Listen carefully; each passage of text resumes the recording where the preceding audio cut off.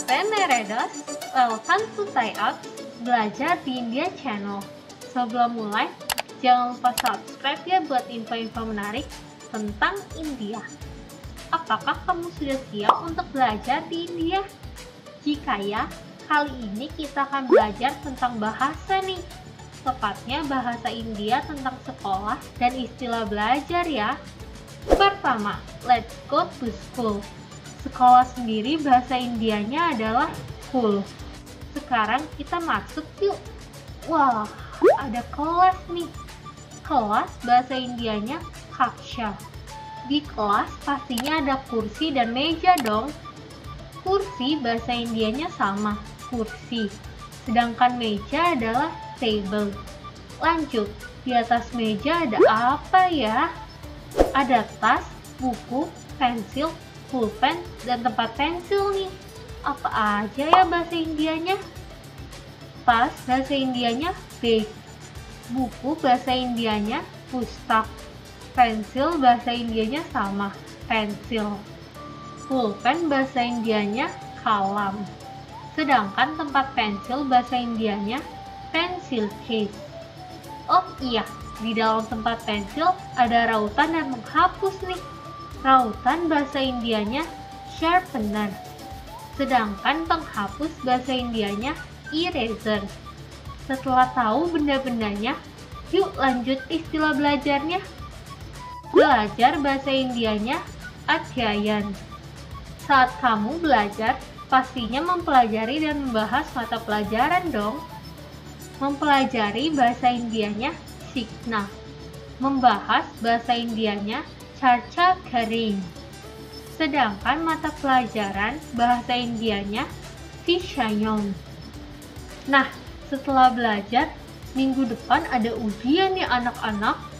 Waduh, ujian bahasa Indianya adalah Pariksha. Jadi misalnya kamu mau ngomong, saya belajar di kelas untuk mempelajari ujian, gimana ya? Kamu bisa katakan, नहीं परीक्षा का अध्ययन करने के लिए कक्षा में पढ़ता हूँ. Yuk coba ucapkan sekali lagi. Main परीक्षा का अध्ययन करने के लिए कक्षा में पढ़ता हूँ. Setelah melihat kelas, lanjut ke perpustakaan yuk Meredas. Perpustakaan bahasa Indianya pustakalai. Sedangkan rak buku bahasa Indianya pustak takta. Di rak buku ada beragam jenis buku nih. Yuk kita cek satu persatu. Buku sastra bahasa Indianya Shahiti Pustak. Buku fiksi bahasa Indianya Upanyas Pustak. Buku non-fiksi bahasa Indianya Kalpana Rahir Kitab. Buku ilmiah bahasa Indianya Vejanic Pustak serta kamus yang bahasa Indianya Shabdakosh. Menarik sekali bukan? Setelah keliling sekolah, kamu pasti lapar dong. Yuk kita ke kantin. Kantin bahasa Indianya kantin. Di kantin ada tempat duduk dan tersedia beberapa stand makanan, minuman, serta snacks nih. Makanan bahasa Indianya khana.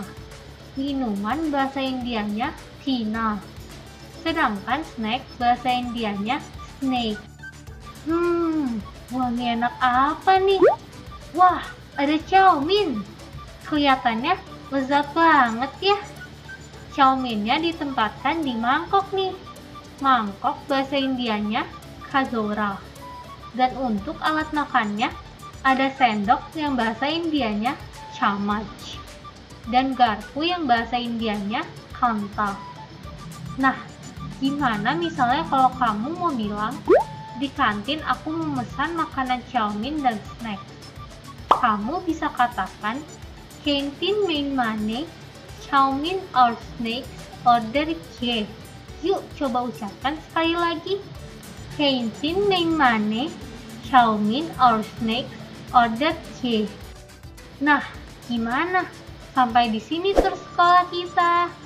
Kalau kamu penasaran tentang belajar bahasa India lainnya, bisa cek di playlist Hindi Language ya. Sampai di situ video hari ini. Kabial Vidana Kena, Pir